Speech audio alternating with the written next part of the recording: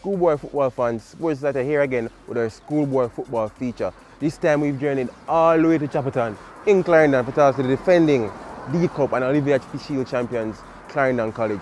Talk to some of them, get their opinion, see how their season has been going and see what they expect to achieve this season. Don't, don't go nowhere, follow me.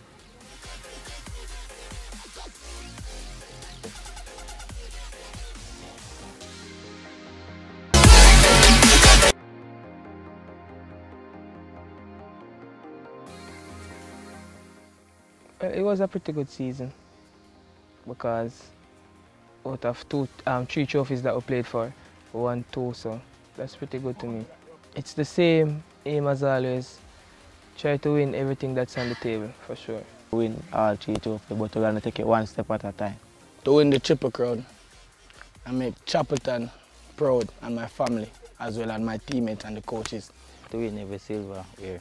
We in Clarendon College, we're one family, so it, it's not very hard because we live as one. As Kaim said, we do everything as one, so it, it not, it, it, it's not hard and there's no pressure to me. I have to be the man as always.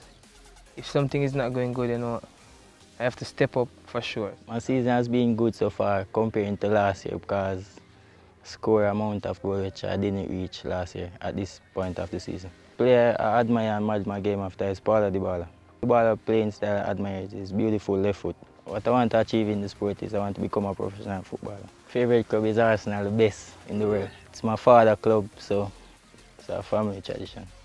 Because of my father, I have to keep the legacy going, you know. Just simple that, you know, it motivate me every day, so I have to do it. Centre back, no dream as a striker. Done gone bad from mine, you know. From Mount Pleasant days, you know, I was one of the biggest in the group, under 13. And I just try me there and I play well in the game. And I just continue from there. I have a passion and a love, but also I have a love for goal scoring as well.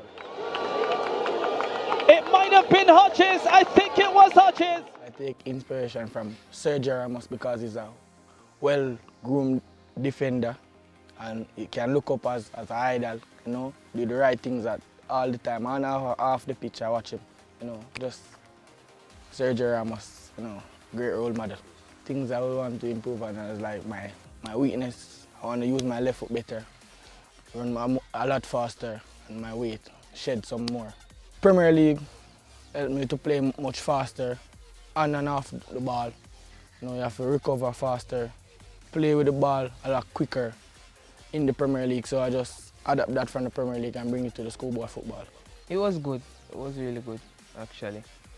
And when you come back from Premier League to um, schoolboy football, you have it more easy actually because it's a lot quicker in the Premier League. So things that the Premier League players would normally do, schoolboy wouldn't do it. So yeah, it's kind of easier. Team I look forward to post actually with is Dinthill Technical. Dinthill have a good team, you know, so you know, they're gonna give us a fight. CC Nation just look out this season, coming for every trophy this season. Chapelton, party loud. Devante, I just love you. Clarendon College um, team love you. The coaches, everyone. Just appreciate the, the support a lot. CC fans just look out. They will carry that one and come and Chapelton. We just need all the support we can get and for sure we'll make you guys proud. This year I promise treble.